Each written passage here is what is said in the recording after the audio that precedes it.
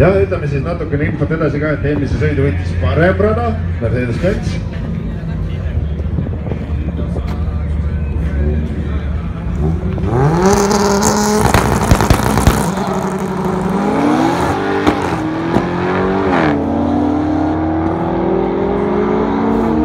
ja Kenne Kaltsu, Jaak Sillad siis samamoodi top nelja kohani eest võitlemas